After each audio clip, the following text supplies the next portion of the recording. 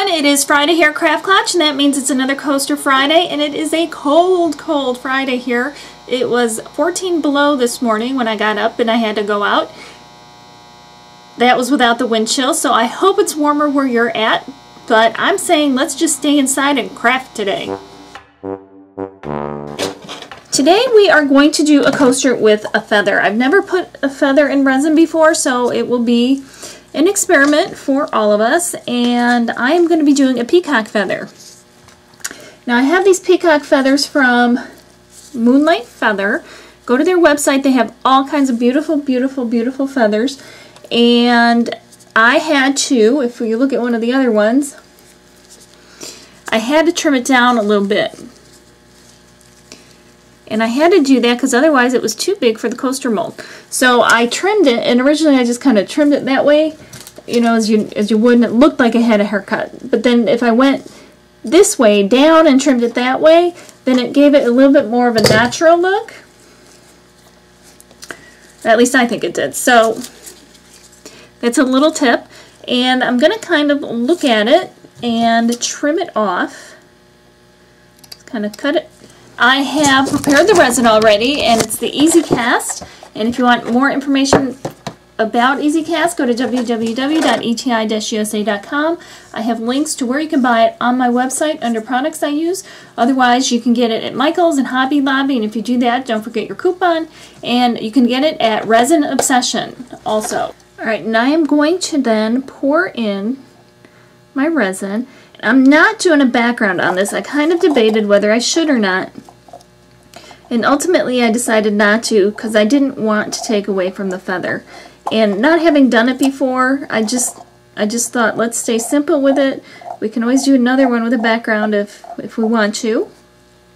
So get that resin in there. And take a lighter. Pop all the bubbles. And then I'm going to take my feather and I'm going to dip it into the resin front and back. Then I'm going to put it down and let it sink. I'll help it with the skewer stick, help it go down. And then I'm going to take the skewer stick and kind of separate some of the little feathers, parts of the feather. So it looks a little bit more natural. And it did definitely darken the feather. So you want to keep that in mind. And I don't know how that'll turn out in the end. But we will just have to wait and see.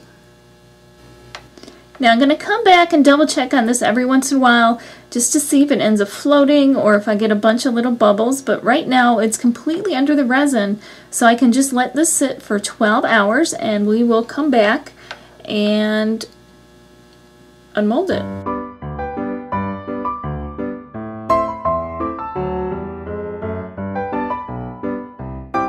I'm back to unmold the peacock feather coaster.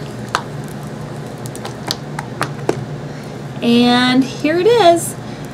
It looks pretty nice. Um, you can see it from both sides, not that there's much going on on the back side, but here it is on the front. And you can see the eye and everything. All I do want to warn you is when you are cutting it off on the bottom, just be aware because every piece that you cut off, a piece from the side will come off too. So you don't want to cut it too far up or otherwise you're going to lose all of your pieces of the feather. So I hope you like it. Remember, if you like crafting, throw me a thumbs up and we'll see you next time. Happy crafting and thank you for watching.